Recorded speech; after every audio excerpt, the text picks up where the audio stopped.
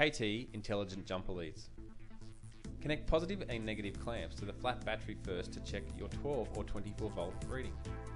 Simply connect the red clamp to the positive on the battery and the black clamp to the negative on the battery. A voltage reading of 12.8 volts indicates a healthy battery. A green light indicates a correct connection. When connecting the clamps to the second battery, the voltage reading will be averaged. Simply connect the clamps to both batteries and the voltage display will average the voltage between the two batteries.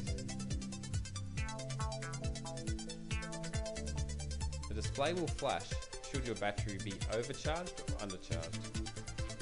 When connecting the clamps incorrectly, a red light will appear in the voltage display. This indicates an incorrect connection.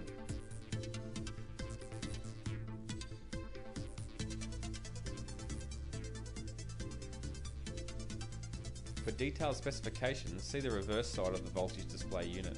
For standard vehicles, 4x4 boats or anything running 12 volt systems below 11.8 volts is considered a flat battery and requires charging while 14.2 volts is considered overcharged. For trucks, buses or anything running 24 volt systems below 23.6 volts is considered flat and above 28.4 is considered overcharged.